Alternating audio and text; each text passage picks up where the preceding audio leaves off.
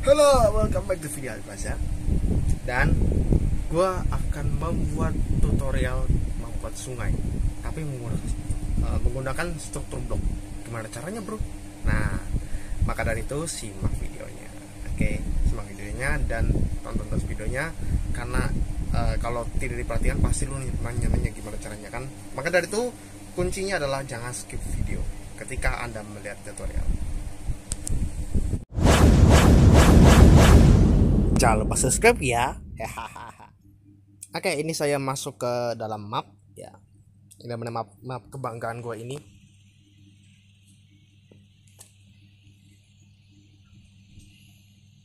Dan ini ada lubang ya. Lubang yang sudah gue buat. Tapi gue akan buat lagi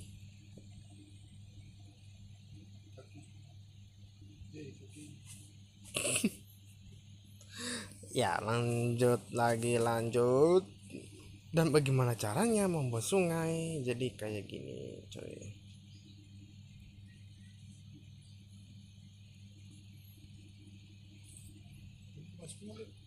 Hah? Masukin lah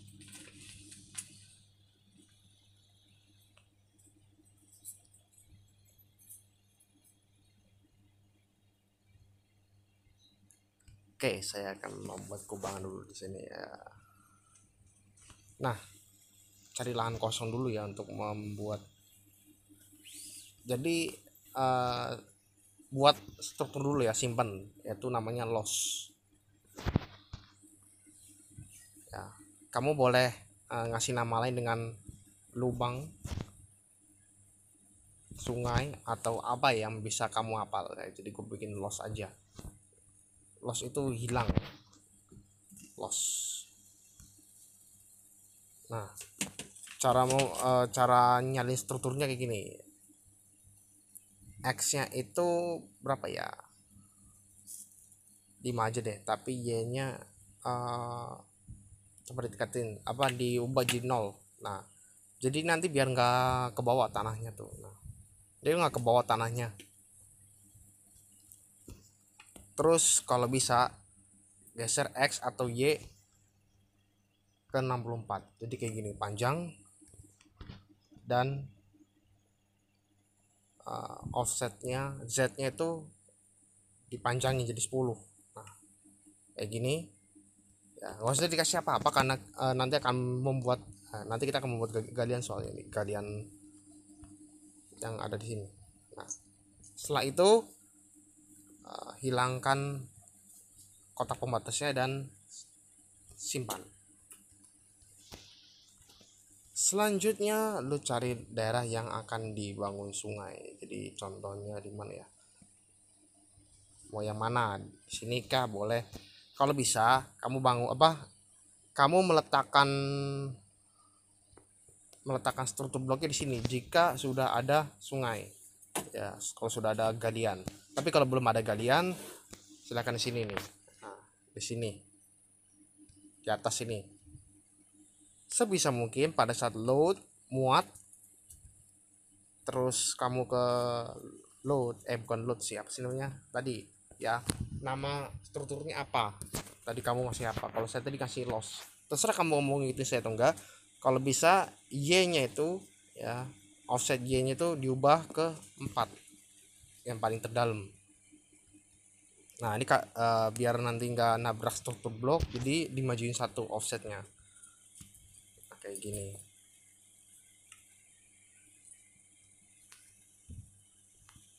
Oke. Ya ini gua akan buat.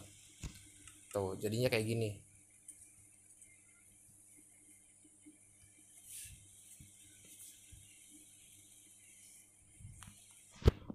waduh bolong. Ya. Oke sebisa mungkin kamu jangan sampai ke uh, poin keempat ya paling terbawah tuh malah jadi bolong kayak gini tuh. Ini terlalu dalam ya jadi uh, lu perhatikan dulu offsetnya tuh. Sampai bolong gini. Nah kayak gini.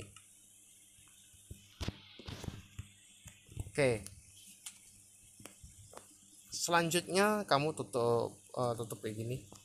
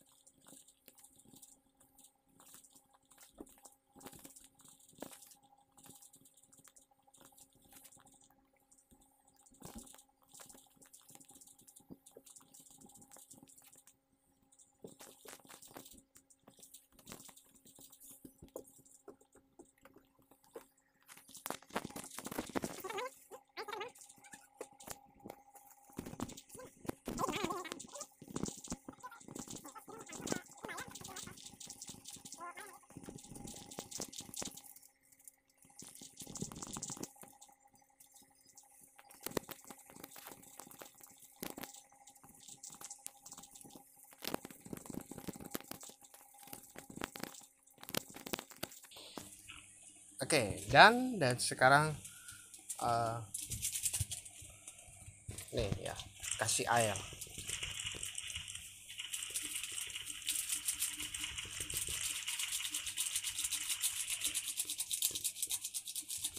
Nah, minimal segini aja udah cukup. Gak usah dibikin meluap lah kayak Jakarta kali semua meluap.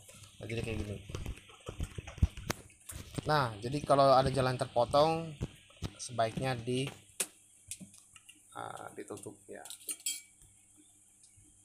Jadi gimana nutnya ya gini. Nah, gunakan bahan dasar apa untuk jembatan yang bagus ya yang tepat